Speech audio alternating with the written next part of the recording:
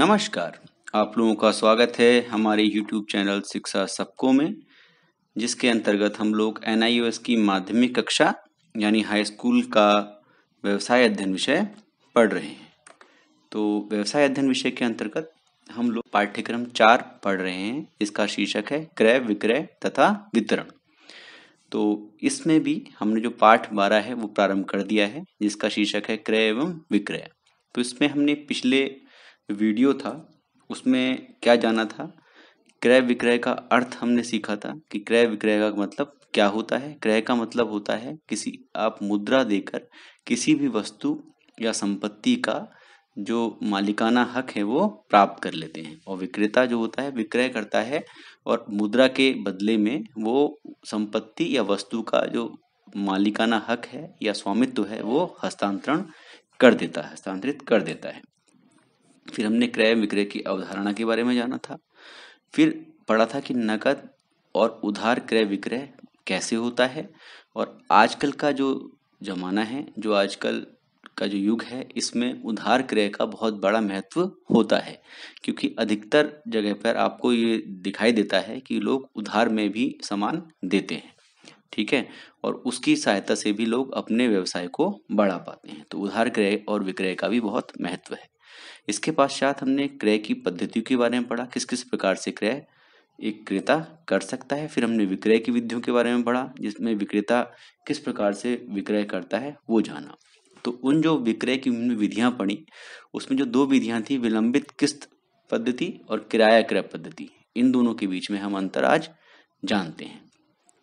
तो जो विलंबित किस्त पद्धति होती है, जिसके के अंतर्गत एक किस्तें बाँध देता है, जो दुकानदार होता है, आपको सामान दे देगा और आपको उसका जो भुगतान है वो किस्तों में करना पड़ेगा। लेकिन उसमें आपको स्वामित्व का जो अधिकार है वो, जैसे ही आप पहली किस्त चुकाते हैं, आपको स्वामित्व उस चीज़ का मिल जाता है। बल्कि जो किराया क्रय पद्धति होती है, उसमें जब आप पूरी किस्तें, उसमें भी होता, किस्तों में ही भुगतान है, केवल एक स्वामित्व का अंतर दोनों में आता है। तो एक एक करके इसके अंतर जान लेते हैं। यह मूलतः विक्रय का अनुबंध है, विलंबित किस्त जो पद्धति है, यह मूलतः वस्तुओं को किराए पर लेने का अनुबंध है। ठीक है? ये दोनों का डिफरेंस है, ये विक्रय का अनुबंध होता है और ये किराए पर लेने का अनुबंध होता है। अनुबंध क्या होता है? अनुबंध एक लिखित दस्तावेज़ होता है जो कि दो पार्टियाँ, क्रेता और विक्रेता, उनके मध्य किया जाता है। वो आप चाहें तो उस अनुबंध को उसका पंजीकरण भी करा सकते हैं, उसको रजिस्टर्ड कॉन्ट्रैक्ट बोलते हैं, और या फिर आप वैसे भी आपस में रजिस्ट्रेशन बिना रजिस्ट्रेशन के भी अनुबंध कर सकते हैं। इसके पश्चात है, ये दूसरा अंतर है, वो है पहली किस्त का भुगतान होने पर स्वामित्व के अधिकार का हस्तांतरण क्रेता को हो जाता है। किसके अंतर्गत? विलंबित किस्त पद्धति के अंतर्गत। और जो किराया क्रय पद्धति है, उसके अंतर्गत पूरी किस्तों के भुगतान तक वस्तुओं का स्वामित्व विक्रेता के पास ही रहता है। क्रेता के पास बीच में ही पूरे मूल्य का भुगतान करे, क्रय का विकल्प होता है। ठीक है? तो अगर क्रेता चाहे तो वो बीच में ही अगर पूरा मूल्य का भुगतान कर देता है वस्तु के तो उसका जो स्वामित्व है, वो बीच में भी उसके पास हस्तांतरित हो सकता है। ठीक है?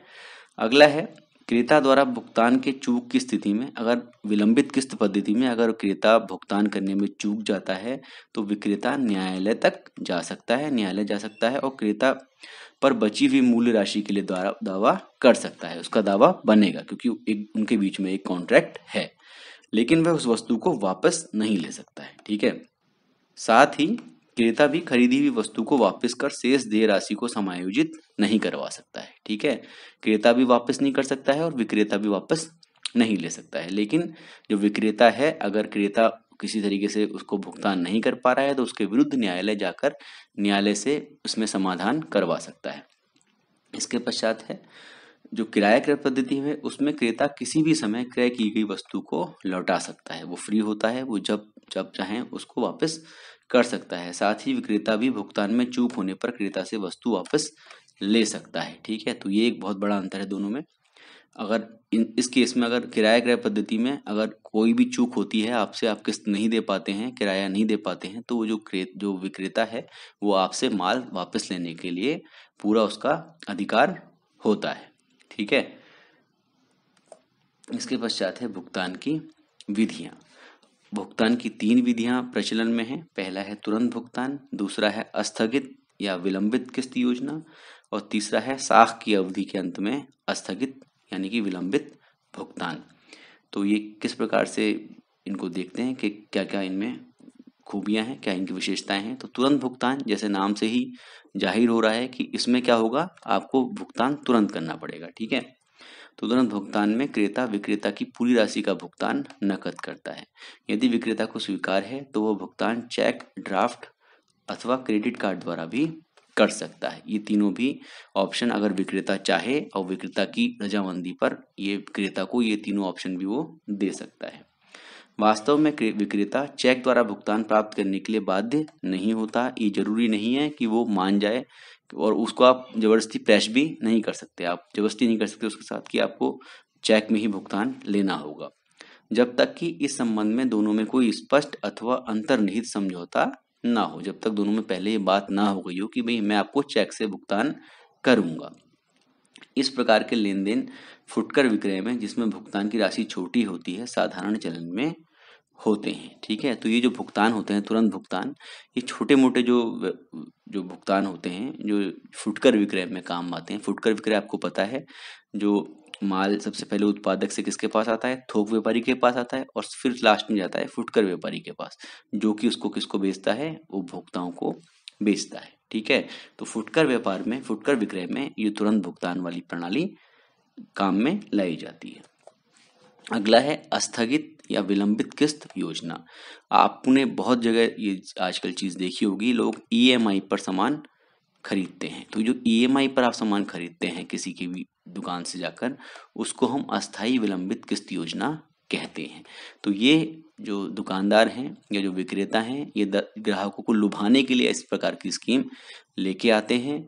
वो चाहते हैं कि उनका माल कम से कम बिके, ताकि ज़्यादा से ज़्यादा लोग उसको खरीद पाएँ। तो अब ज़्यादा से ज़्यादा लोगों के खरीदने की पहुँच में बनाने के लिए जो थोड़ी महँगी वस्तुएँ होती हैं, जो टिकाऊ वस्तुएँ होती हैं, जैसे फ्रिज या एसी या टीवी इस प्रकार की जो वस्तुएँ हैं बड़े उपयोग की, उनके अंदर ये जो दुकानदार हैं, ये ईएमआई या किस्त का ऑप्शन आपको दे देते हैं। तो उसमें क्या होता है?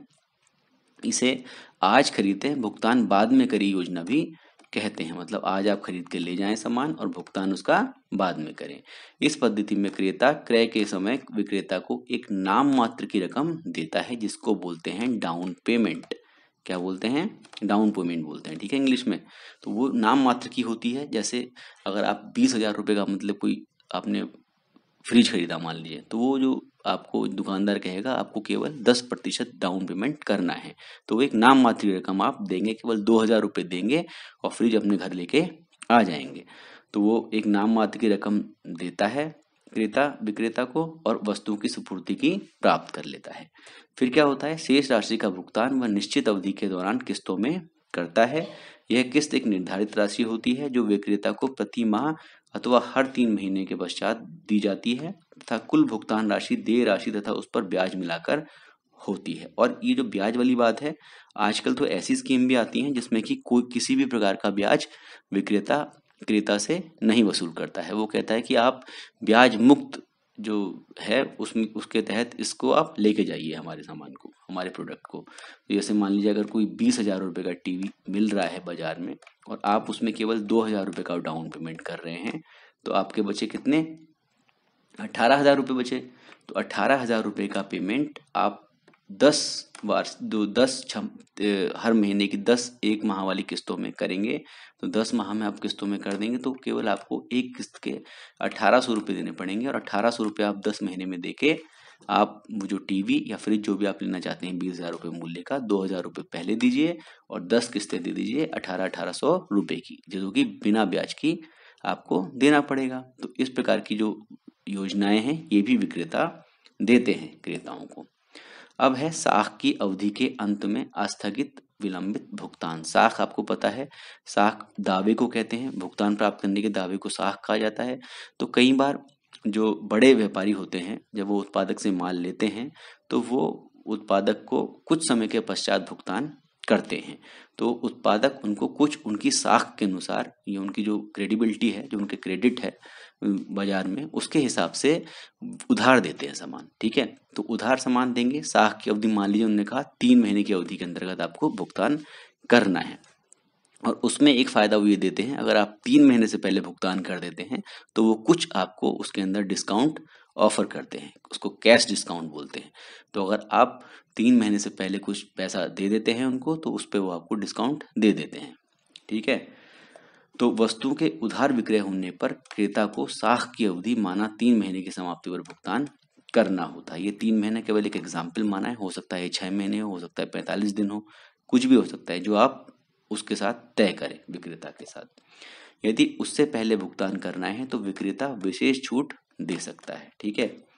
इसे वह बीचक में देय तिथि से पहले तुरंत भुगतान के लिए शुद्ध राशि के रूप में दिखाता है। मतलब उसके अंदर दो राशियाँ वो दिखाएगा, एक होगी देय तिथि से पहले की राशि और एक होगी देय तिथि के बाद की राशि। जो देय तिथि के पहले के भुगतान की राशि होगी, जो शुद्ध राशि होगी, वो जो बाद वाली राशि है उससे कम होगी, ठीक है? क्योंकि उसके अंदर एक विशेष छूट सम्मिलित होगी। जो कि भुगतान आपको जो जो अवधि दी गई है, उससे पहले आप अगर भुगतान करते हैं तो उस समय आपको वो छूट दे होगी। अब है विक्रय प्रक्रिया। जब भी कोई विक्रेता माल को बेचता है, बड़े लेवल पर, ठीक है?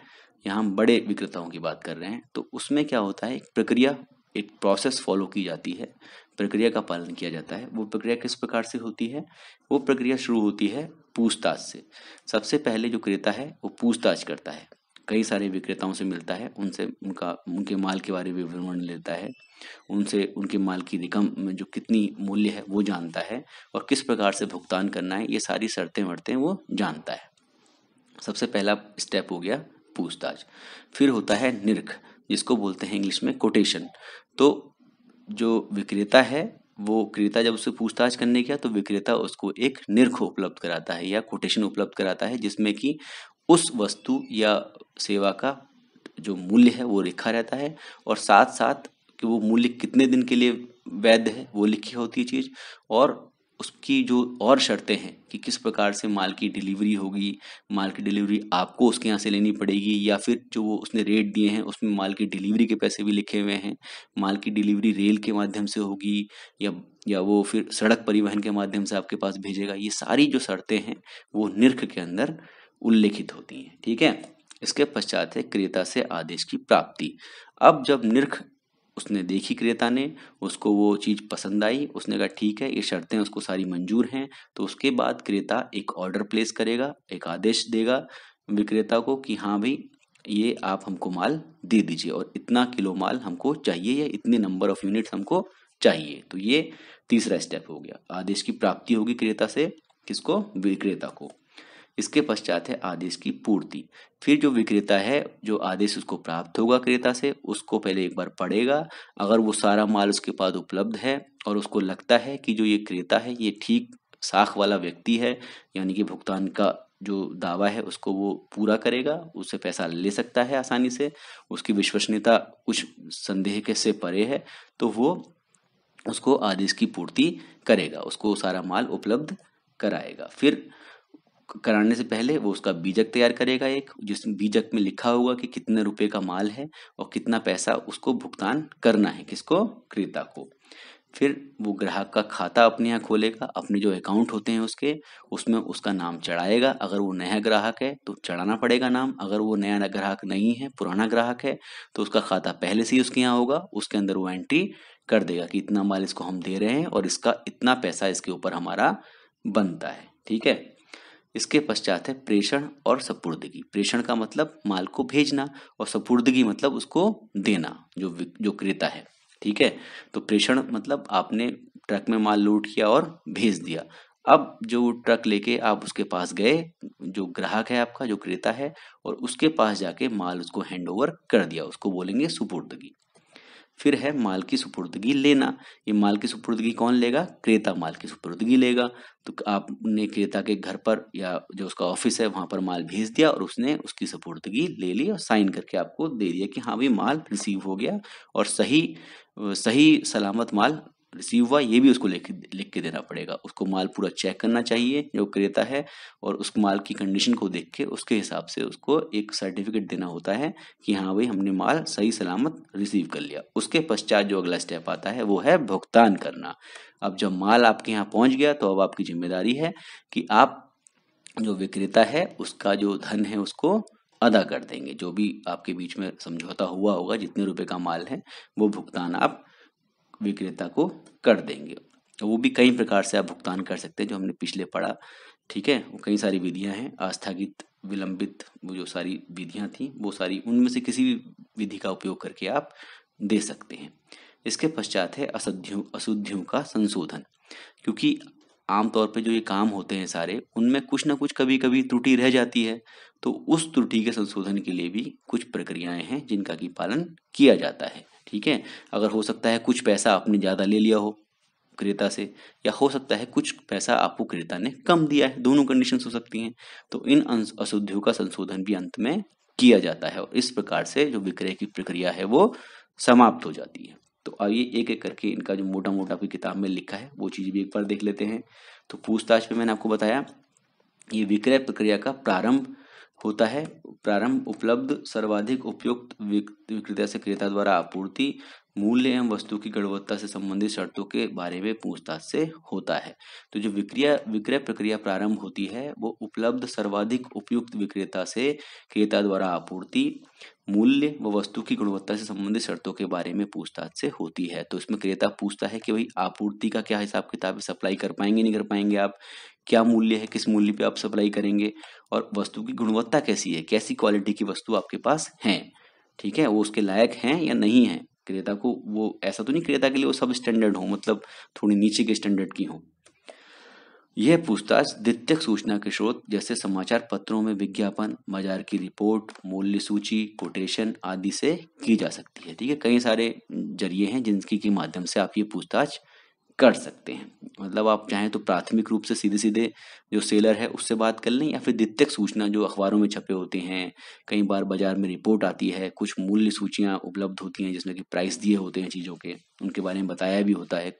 ठीक है, ब्रोशर्स होते हैं। इन सबसे भी आप उसकी इन्फॉर्मेशन ले सकते हैं। तो साधारणतः पूछताछ से अभिप्राय सीधे विक्रेता अथवा विनिर्माता जो बनाते हैं सामान को, उनसे सूचना एकत्रित कर श्रेष्ठतम आपूर्ति के स्रोत का निर्णय लेने से है। तो आपको एक सामान लेना है तो उसके लिए आप क्या करेंगे? चार पाँच जो उसको बनाने वाले लोग हैं या जो दुकानदार हैं जो उसको बेचते हैं, उनसे संपर्क करेंगे और उनकी एक लिस्ट बनाएँगे भी, इसके पास ये सामान है, इसकी ये विशेषताएँ हैं, इसकी ये विशेषता है, इसकी ये विशेषता है, इनका मूल्य ये है, इसका मूल्य ये है, इसका मूल्य ये है। और इन सबको आपस में क्या करेंगे कंपेयर करेंगे और फिर इसमें से किसी एक का सेलेक्शन करेंगे, ठीक है? तो ये पूछताछ में आता है। अगला है निर्घ। तो जब आप सिलेक्शन कर लेंगे किसी विक्रेता का, फिर आप उससे, उस विक्रेता से कोटेशन प्राप्त कर लेंगे। तो संभावित क्रेता से पूछताछ पर विक्रेता आवश्यक सूचना प्रदान करता है, इसे निर्ख यानी कि कोटेशन कहते हैं। निर्ख में लिखित विक्रय की शर्तें व मूल्य के बारे में मोल भाव हो सकता है, दोनों चीज़ें हो सकती हैं। इसके पश्चात विक्रेता छपे हुए निर्क फॉर्म भी प्रयोग में ला सकता है। मतलब पहले से ही फॉर्म छपे रहेंगे, उसमें सारी की सारी कंडीशंस लिखी होंगी। ऐसा भी कई बार क्रेता, जो विक्रेता है, वो उपयोग में लाते हैं। फिर है क्रेता से आदेश की प्राप्ति। तो इच्छुक क्रेता यदि निर्ख में दी गई विक्रय की शर्तों से संतुष्ट है तो वह विक्रेता को औपचारिक रूप से माल का आदेश भेजेगा। कभी कभी क्रेता भी क्या करता है, छपे हुए आदेश प्रपत्र का प्रयोग करता है। इसके पश्चात है आदेश की पूर्ति। आदेश प्राप्ति के पश्चात विक्रेता इसकी प्राप्ति की सूचना भेजता है और इस पर अपनी स्वीकृति प्रदान करता है। आदेश पर प्राप्ति की तिथि सहित मोहर लगा दी जाती है। इसे एक संदर्भ नंबर, एक रेफरेंस नंबर दे देते हैं, जिससे कि इसको ट्रेस कर सकें बाद में, जिससे कि उसको ढूंढ सकें तथा आदेश प्राप्ति पर रजिस्टर में इसकी प्रविष्टि कर दी जाती है। यदि क्रेता नया है, अगर नया कोई ग्राहक आपका बना है तो विक्रेता उसकी साख और वित्तीय स्थिति की जाँच भी करेगा कि ये हमारे साथ कुछ फ्रॉड तो नहीं करेगा कहीं, इसके पास देने लायक पैसा है भी या नहीं है, या खाली माल लेके हमको धोखा दे देगा? तो ये सारी चीज़ें भी उसको ढूंढनी पड़ती हैं विक्रेता को। यदि विक्रेता क्रेता की साख के संबंध में संतुष्ट है तो वह उसको वस्तु के विक्रय का निर्णय ले लेगा, ठीक है? अन्यथा अगर वो संतुष्ट नहीं है तो उसको एक क्षमा पत्र दे देगा कि माफ़ कीजिएगा भाई साहब, हम आपको माल नहीं दे नहीं दे पाएँगे, जिसको वह आदेश स्वीकार करने में अपनी असमर्थता बताएगा उसके माध्यम से। यदि आदेशित वस्तुएँ स्टॉक में नहीं है तो उत्पादन समय के अनुसार माल की सपुर्दगी की तिथि निश्चित की जाती है और आदेश की एक प्रति विभाग को भेज दी जाती है। ठीक है? अब है, अब जब ये प्राप्त हो जाएगा, आपने उसको दे दिया कि हाँ भाई ठीक है, हम आपको जो माल है उसकी आपूर्ति के लिए तैयार हैं। फिर आप क्या करेंगे? अब अब जो विक्रेता है वो बीजक तैयार करेगा। तो बीजक में पूरे क्रय विक्रय लेन देन का विस्तृत ब्यौरा एवं विक्रेता द्वारा क्रेता से प्राप्त की जाने वाली राशि अंकित होती है। सारी चीज़ें उसमें लिखी होती हैं। विक्रेता से वस्तुओं के साथ क्रेता को भेज देता है। जब वस्तुएँ भेजेगा तो उसके साथ में उसका बिल भेजता है। इसकी एक प्रति विक्रेता के पास भी होती है। इसकी एक एक प्रति उत्पादन विभाग अथवा भंडार गृह तथा लेखा जोखा विभाग में भी भेज दी जाती है। जो ये उत्पादन इकाइयाँ होती हैं, जो व्यवसायी होते हैं, इनके पास इनकी कंपनी के अंदर ही कई सारे विभाग बने होते हैं। एक उत्पादन विभाग होगा, एक भंडार गृह होगा, स्टोर्स जिसको बोलेंगे, एक अकाउंट्स का डिपार्टमेंट होगा, एक आदमियों को देखने वाला जो मानव संसाधन है, उनको देखने के लिए एक विभाग होगा, एक मार्केटिंग वाला विभाग होगा, जो कि सारे जो मार्केटिंग वाली चीज़ें हैं, जो प्रसार, प्रचार प्रसार करना है वस्तुओं का, उसका एक डिपार्टमेंट होगा। एक डिपार्टमेंट क्रय विक्रय के लिए होगा सेल्स डिपार्टमेंट जिसको बोलेंगे, ठीक है? तो कई सारे विभाग होते हैं। तो इसका क्या होगा? जो ये बिल है उसकी एक प्रति उत्पादन विभाग को दे दी जाएगी और या फिर भंडार गृह और साथ में अकाउंट्स जो होता है जो जो आपका लेखा देखता है उस विभाग को भी भेज दी जाती है। अब है ग्राहक का खाता खोलना। जैसे ही लेखा जोखा विभाग में बीजक की प्रति प्राप्त होती है खाता वही में खा, ग्राहक के नाम का खाता खोल दिया जाता है। तो जैसे ही जो लेखा जोखा विभाग है, जहाँ पे लेखा यानी कि अकाउंट्स रखा जाता है तो वहाँ पे जैसे ही आप बिल भेजेंगे तो वहाँ पर वो उसमें नाम देखेंगे कि कौन है भाई कौन सा जो ग्राहक है या सेलर जो क्रेता है, वो कौन है जो परचेज कर रहा है। और उसके हिसाब से खाते बही में ग्राहक के नाम पर खाता खोल दिया जाएगा। इस खाते में बेचे गए माल के बीजक का मूल्य, साख, उधार, अवधि की छूट कितने समय का आप उसको उधार दे रहे हैं और कितना अगर उधार की अवधि से पहले दे दे तो कितनी छूट देंगे?